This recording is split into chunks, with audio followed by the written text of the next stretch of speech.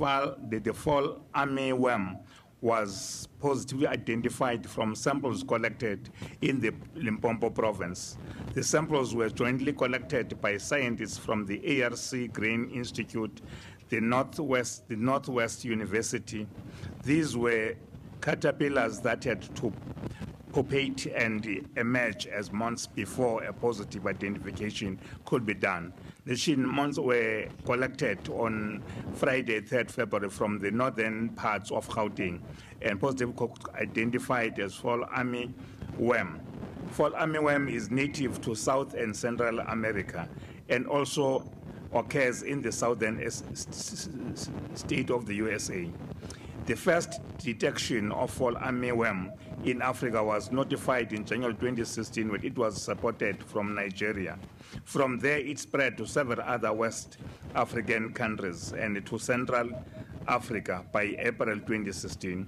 Media reports from Zambia, Zimbabwe, and Malawi indicated an outbreak of this pest during December 2016. DAFF informed commodity and research organizations of a possible threat and encouraged producers to report suspicious pest, pest damages. The initial pos possible pest reports, which led to sample collection and positive identifications. The fall armyworm is a strong flyer and could be distributed by prevailing winds over, over large distances.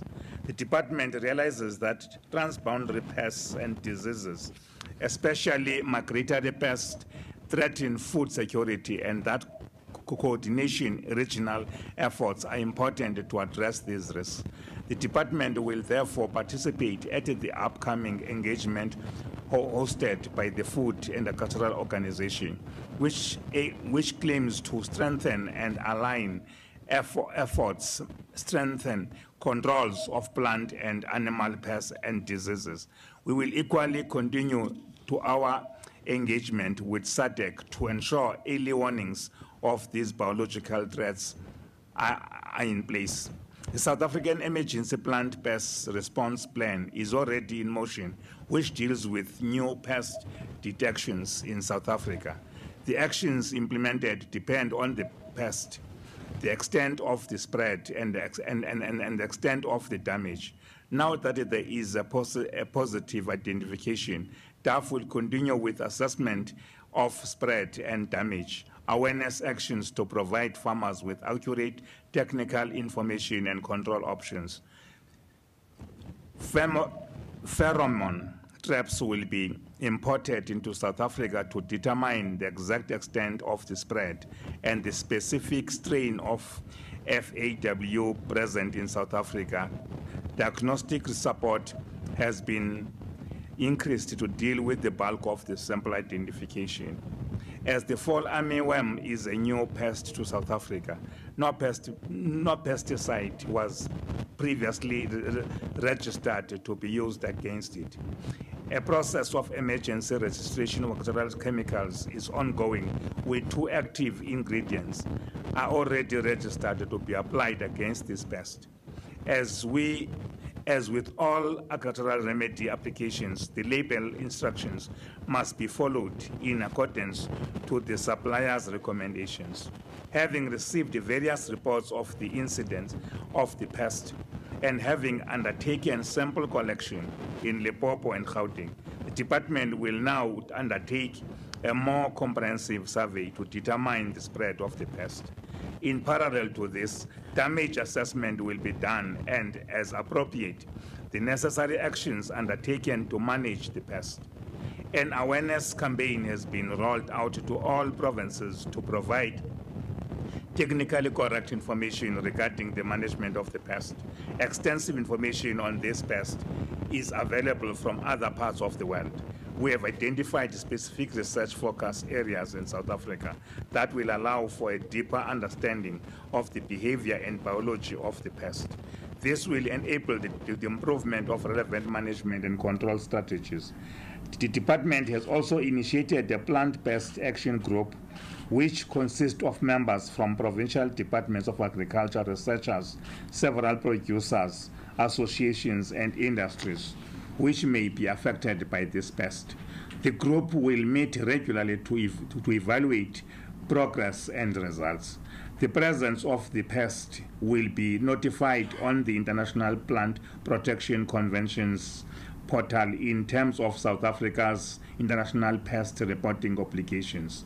SADC member countries will also be notified and regional control measures will be discussed.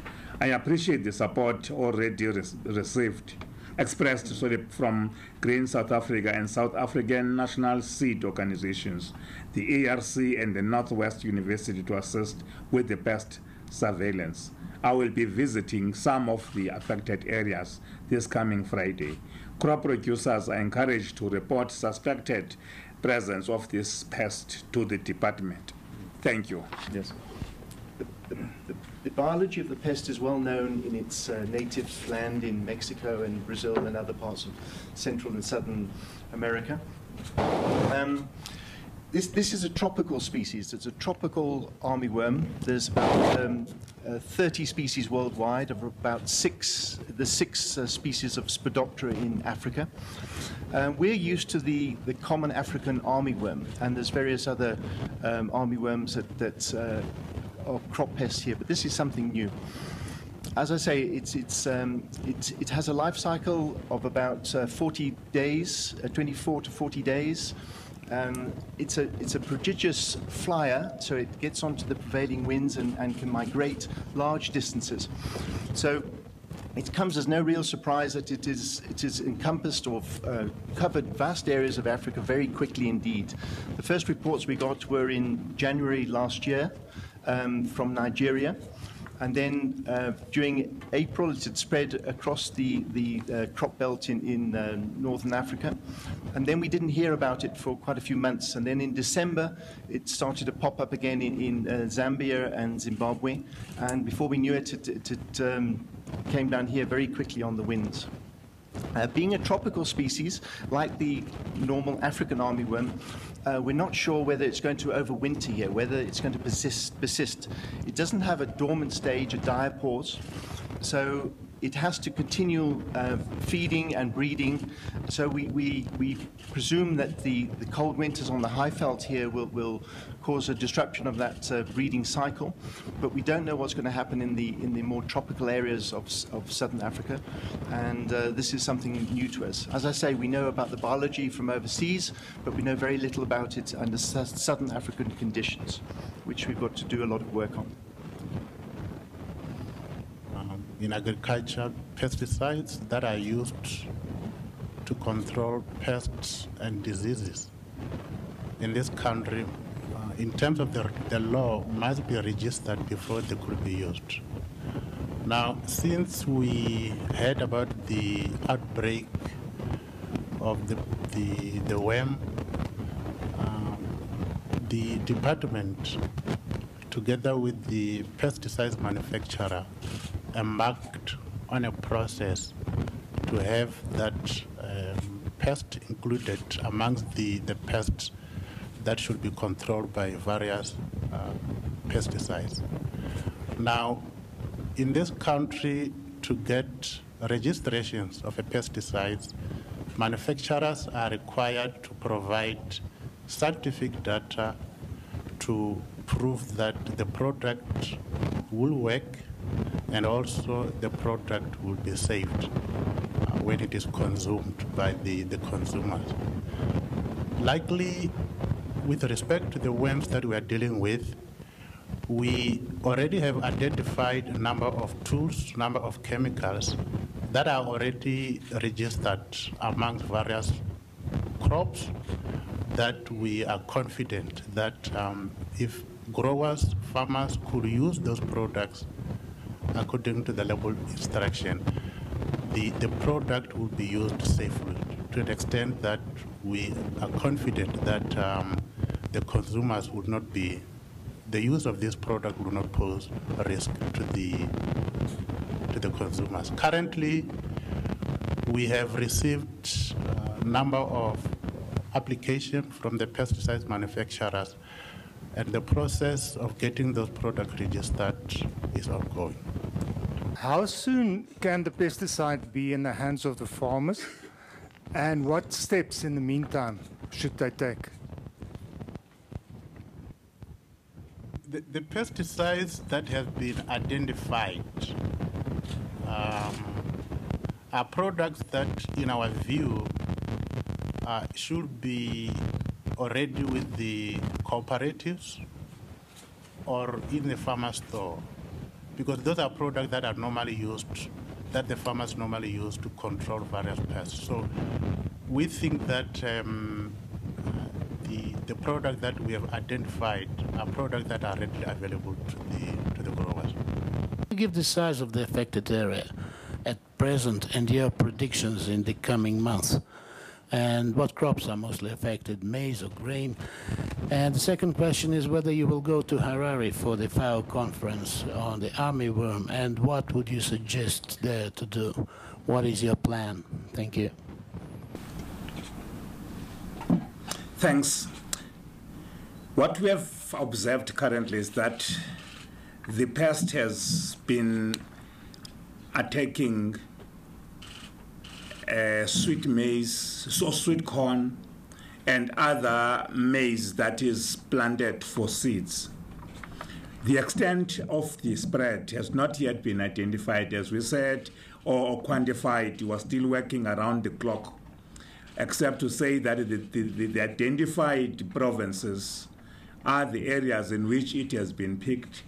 We will not be able, therefore, to quantify the extent, as we believe that an active action, as explained by Mr. Madzunga, is to make sure that, where possible, pesticides that have been identified to work, their, their prescriptions being followed, taking into account safety to humans or to consumption taken into account, we will be able to overpower or overcome the problem, especially with the shown assistance or or participation of different stakeholders, as have been mentioned in the statement.